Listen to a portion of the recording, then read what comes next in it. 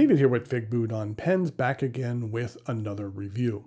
I get asked a lot about pen storage, and today I have for you a new storage option from Galen Leather, and that is their Magnum Opus 12 pen case. Uh, what I'm going to do today is go over the parts and features of the case, talk about what I care for and what I don't care for about it, as well as show you which pens fit in it, as well as which pens do not. Uh, thanks go out to Galen Leather for providing this case for review. Galen is based out of Turkey and has a wide variety of some very cool looking and well made products. I've reviewed a number of them in the past and used several of their items on a daily basis. Uh, coming up in the near future, I will have a review of their extra large medic bag and possibly some other surprises. Their offerings are really fun to check out. The Magnum Opus pen case comes in two different sizes, one which holds six pens and another which holds 12. They are made from leather and each are offered in seven different colors and varying textures. There is the black, undyed, and the rest are in what is called crazy horse leather, which is something I'll talk about here in a bit. Uh, there is brown, forest green, honey ochre, navy blue, and smoky. When it comes to the six pen case, you can see here that it's offered in the same seven varieties.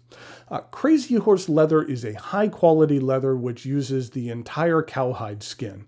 Uh, it's often used in saddles. A natural wax is applied to the surface, creating a water resistant leather which is durable and buttery soft to the touch. It arrives in this box. From day one, uh, Galen has always had some very cool looking packaging. And in order to see which version I have to show you here, please join me over at camera 2. So here is the box, and the case that we have inside is the Crazy Horse Brown. Let me go ahead and just get this out here. I also included a nice little postcard with a personal note that was a nice touch. And here is the case. Um, I really like this Crazy Horse brown color. Um, the leather is very soft and has lots of character.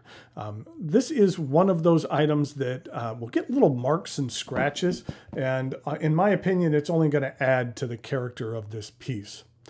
Um, to begin with, uh, here is a close-up of the leather.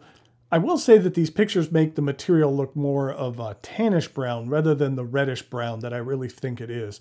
But you can see the stitching is nice with high quality thread. Uh, the seams on the inside are even worn nicely. Um, let's take a look at the outside of this case. Um, you can see, again, that that stitching is very nice.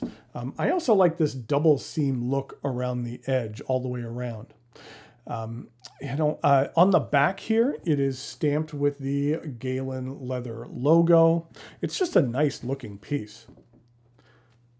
The flap is magnetized. Um, something that I really care for here is that you can't see any of the markings on the leather as to the location of the magnets. I've seen on other leather products that you can see little bumps or indentations where the magnets are, but you uh, can't see anything here or even feel it. Um, there's no bumps to speak of. Um, if I use another magnet, then there, I can find it right there, but you don't see it there otherwise. Now, who knows, over time they might become more visible, but for now I like that they are invisible. Um, so inside there is this cutout that gives you a, a really good access to the pens. Um, something I really like is this tray easily slides out for easy access. Um, the slots here are very sturdy um, and the flocking is done well. I've seen on some other flocked products that little fibers of the material get all over your pens, but so far I haven't found that to be the case with this tray. Okay, let's take a look at what pens fit in here and which ones will not in this case. To begin with, I have a pen from Visconti, which is the Visconti Ripple. Um, I have found that the clips do better when they are on the side. When they are facing straight up, then they do exceed the, uh, the outer portion of the material there. So you need to have the clips to the side. Next up, we have another rather large pen, which is the Sailor King of Pen in Ebonite, and you can see that that fits in there well. This is a Leonardo Momento Zero Grande in the primary manipulation. And then another new pen that uh, I'll be reviewing in the near future, which is from Gravitas, and this is their entry pen, and that fits in there nicely. Another larger pen, this is the Wahl Eversharp Decoband, which is very thick and very large, and that fits in here well. Now, in regard to a couple of pens that really don't fit in here, the Namiki Emperor uh, fits in here as far as the girth goes, but you can see the length uh, is exceeding where it needs to go. But there's not many cases out there that will hold this pen. The same could be said for the Danitrio Genkai. It's a very large and thick pen. Uh, there's not many cases that are going to hold this thing. But in regard to a long pen that this case does accommodate, this is the uh, Franklin Christoph Model 66, which is one of the longer pens in my collection. Uh, and it just barely fits in there, but it does fit in here nicely. Here is a Mont Blanc 149. Uh, and then next to it, we will have a Pilot Custom Urushi, which again is a very large pen and just barely fits in there. We have a Conid Bulk Filler King Size. And then in regard to a very small pen, this is a Schon Design Pocket 6. So even though this is a small pen, I feel that it fits in there and you can still get it out without much issue. Uh, and then two other pens, which will be reviewed here in the very near future. The first is from Leonardo, and this is their brand new Momento Magico, uh, which is um, a bit of a different pen for uh, Leonardo uh, in the fact that the section is different than their um, than their uh, Momento Zero and Momento Zero Grande.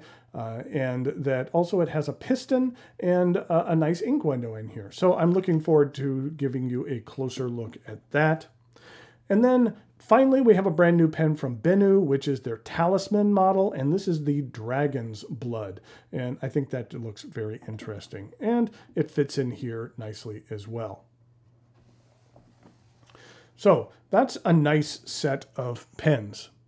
Now, this is not an official contest. Uh, there are no uh, prizes involved, but um, I'd like to see if someone can name the 12 pens in the case that I showed in the intro to this review. It was a completely different set of pens than this set here. There was no real intention to choose a difficulty to identify the pens or anything. I just grabbed a few pens at random that I thought would look nice. Um, most have been reviewed, but there are some that have not been reviewed. Um, there might be at least one shown in other reviews on multiple occasions. Um, see how many you can name and let me know in the comments how successful you were. Both sizes of the Magnum Opus cases are available on the Galen Leather website. Um, I took a quick look around some of the other sites which offer Galen items and didn't see these cases, so they might only currently be available through Galen directly. The 12 pen case retails for $159 and the 6 pen sells for $109. Now, decent leather goods are typically come at a premium price. In regard to the pricing of these items, um, I feel that the 159 is reasonable for this larger case, um, but the price on the smaller case feels a little bit high to me personally. But if you are looking for some high quality leather pen case options, then these are well worth checking out. Thanks again go out to Galen Leather for providing this case for review. Um, I will provide a link to their site in the notes below. Until next time, Thanks for watching, and I'll talk to you later.